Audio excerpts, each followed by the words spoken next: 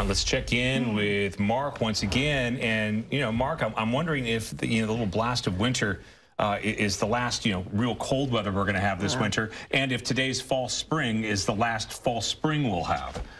Well, So let's see. A A would be we don't know yet, and Yeah. B, yeah, we don't know either. Okay. Oh no, B would be no. Okay. I mean, here's the deal. That would So, be sad. wait, if I mean, it's case. only January 22nd, right? Yeah, 23rd, yeah. 22nd. And so we don't see anything on our maps that says an extended cold spell. Because remember that last one, we could see it seven to 10 days away, we knew something was up.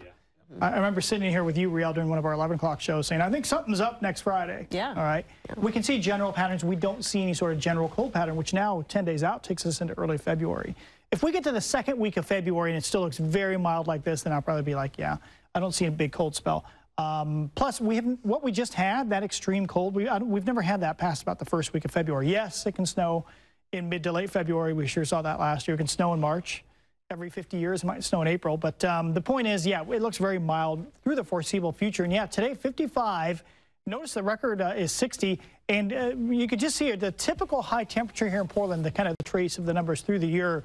And uh, you can see here we are at the end of January and early February. About 48 degrees is average. So the high 55 today, that was more like a typical, like early March day, early to mid March day. All right, so 50 degrees out there right now. Willamette Valley Vineyards, a light wind. You'll have a bit of a southerly wind in the valley tomorrow. Maryhill Tasting Room and Bistro, notice a light easterly breeze there. And if you look at the rain over the last uh, 10 days, yeah, quite a bit.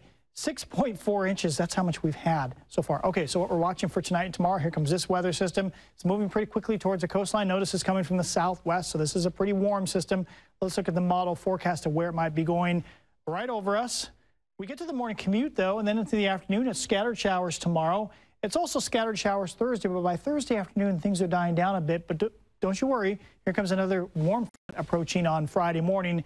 This leads us to a lot of rain in the Cascades over the weekend, or at least Saturday, maybe part of Sunday. And we think we're going to pick up probably about an inch or so here between now and early Friday. So we'll have over seven and a half inches of rain for the month by the time we get to the weekend. So we'll call it a wet day. Tomorrow's kind of a frequent showers day. We're in between. There could be a sunbreak or two. We should have a high temperature right around 50, which is above average.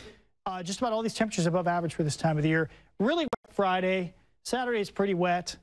Could there be a break here later Sunday or Monday? You know, there are, um, our models are hinting that anybody that's south of Portland, if we get a break in the rain later Sunday or Monday, could be 60 or so for high temperature like Salem. So that could happen. Uh, it looks like a very warm air mass. We think it'll be an east wind here, which should keep us in the 50s, but still way above normal for this time of the year, right through the end of January.